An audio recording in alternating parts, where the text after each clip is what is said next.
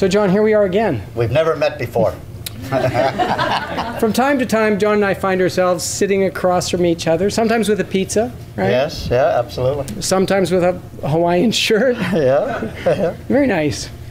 And so, what I want to do is I want to talk to John a little bit. I want to find out what makes him tick, right? So, when did you learn to dive? 88. What was going on in 1988 that you decided to learn to dive? You know what happened in 88? I had talked about No, John, diving. what happened in 88? 1988, I was a friend of mine and I had been talking about scuba diving for over 20 years, Holy smokes. and we had never got our butt off the ground. 68. Yeah. Okay, yeah. Okay. 67, 21 years. We talked about it. And then in 88, he was driving by um, a dive operation in the city, and he saw a sign in the window and said dive lessons, Brilliant 129 or whatever it was. and he said, uh, it was a good friend of mine, he said, he phoned me and he says, John, he says, I've decided to sign us up for scuba diving lessons. Cool. I says, well, it's about time. so that's where I started. I took my first lesson, and it was, Unreal. it was, uh, I've never looked back. When you went from there, did you did you find yourself out on any uh, travels? Like you know, you did some diving locally and that. Where was the first place you went to that was away from home? First place I went to was Cuba. Ha! I thought it was just fascinating. Did you talk to Raul and Fidel? No, no, no, no, just no. just went diving. No, I was there and I had a little Nikonos camera. Ah, very No strobes, no nothing. Yeah. All my pictures were green. but Yeah. it was to me, I could see, I could see all the wonderful fish that were on that picture, and I was just, I, I, I made my wife so sad because I made her watch my 1,200 slides, Yeah, and I would spend five minutes describing each picture. that's so mean. that is so mean. Um, and in that trip, was there a, on any aha moments that led you forward, other than don't do the 1,200 slides with your wife again? Oh yes. Well, I think probably one of the most impressive things about diving in Cuba was uh, the wall. We were dri- diving and we went 70 feet was the depth of the, the the ocean, and then you reach the wall. And when you reach the edge of the wall, you look straight over, and it's uh, 2,300 meters, or Cool. straight down. No ledges, no nothing. Just like somebody took a knife and just cut through it. And we looked over that, and I thought, oh my God, this is just incredible. And to this day, I get shivers when I think about it. How, how did you find yourself um, um, going forward with education? Was it, were, did you have those moments where you look at it and you go, okay, you know what? You're on the edge of that wall. I'd like to be able to do a bit more. I, I can't do that. Did you find that, did, that you experience restriction and that needed to do training to get Well, when? I started doing my training, what I did was I went to um, Vancouver. And of course, I was there for a week, and I did my open water and my advanced all in one little package. Right. and it was fantastic because then I was used to diving deep, I was used to diving dark, I was used to all of this stuff. Right, you didn't have a space in between the two, so you just had the good I just went instruction all- straight through. all, along Yeah. the way. There was four of us together, and we had a wonderful time. Yeah. How do you find uh, working with the community here locally, the diving community? Oh, very good. Everybody's. Eh, the one thing I like about diving is uh, the people you meet.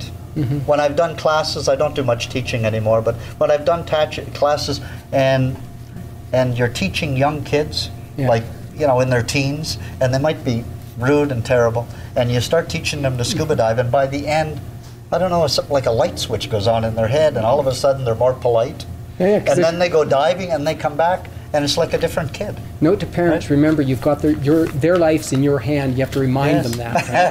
Right? then all of a sudden, they're your best friend. It's like you know, they see how to do that. And then over the years, a lot of the relationships we had, while uh, there was five of us instructors that used to hang around together, and that's why we built this place. Right. Yeah, we built this to, because we thought we wanted to have the the dive operation in this country. You did a beautiful job, right? A very beautiful Thank you.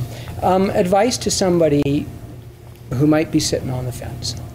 Well, I think what you do is you just do a, a slow progression and you just start, if you're an open water diver, you move on to advanced or move into an MSDT program and you just slowly move ahead. And then when you have all of your uh, uh, regular sort of recreational diving, then you look at uh, a a dive master program. And from there, it's you just don't stop. Right. When when I, I did a, a dive master program with one guy, um, and what he did it, he did it so that when he dove with his children, he'd be able to take care of anything that would happen. That's brilliant. And that was his philosophy. And I said, "It's- that's wonderful. I've got one last question with three answers. Uh-oh. right. Is it multiple choice? Yeah, no, no, it's, you can give all three. What are your three, what are three, not necessarily your favorite, what are, what are three outstanding dive sites that you've been to? And what makes them outstanding? Well, my number one dive site right now would have to be the Galapagos. Okay. I was there for two weeks this past year, and I'm going for another week next year. The aquatic life is just incredible. The uh, it's it's everywhere. The turtles. There was turtles like you people sitting here in the room. Turtles everywhere. And um, I was telling Damn Randy turtles earlier. in the way of the taking a picture. It's like, get out of here, Oh I'm yeah, trying to take no, a picture. you have to push them out of the way. There's too many turtles, and they don't care about you. They're just they just don't realize that you could be a problem to them, so they just lay there, and or just swim right up to you. I had one turtle that swam up to me, and then swam to the, my buddy that was beside me, and then swam back, and he just kept going back and forth between us, and then finally he got bored and swam away. Yeah, absolutely. My second most uh, favorite dive would have to be Scapa Flow, Scotland. Ah, And that's because we dove on the World War I German fleet that was scuttled uh, June 21st, 1919. And that was, the dive itself was dark, deep, and hard, but it was the history. I mean, it was seeing these ships upside down underwater. It just, it's, it's just beautiful. aye, laddie. Aye, laddie. And it had nothing to do with the Yeah. pubs after? No, no, no, No, okay. We did have find some pubs though. Yeah, yeah, yeah, okay. absolutely. And then my, I guess the third one would have to be, um, you know, of all places, it'd be Cozumel again. Mm-hmm. I just went back. I haven't been to Cozumel in over 15 years, and I went back this year, and I thoroughly enjoyed the drift diving. Uh, it, was, it was just, it was just wonderful. The Yeah. current moves through there. And you The just current get just moves you. Yeah. And you don't have to work. No, no work. You just Just- sort of hang there and do do do do do do do do do do do do, and you know, an hour and something later, you come up and get on the boat. Not bad. Yeah. Okay, you passed all the questions. Thank you. Thank you.